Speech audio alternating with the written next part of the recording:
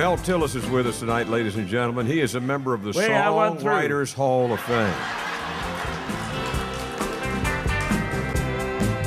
Well, I hope that the friend you thrown yourself with gets drunk and loses his job.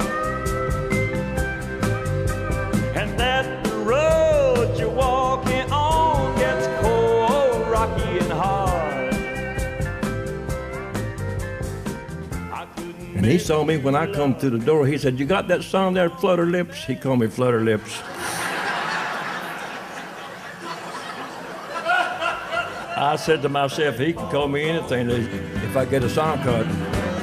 I will have sweet, sweet, sweet sweet Meadowriven.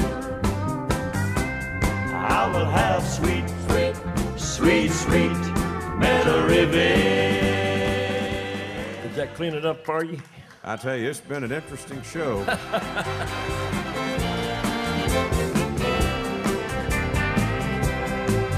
Well, I hope that the train from Caribou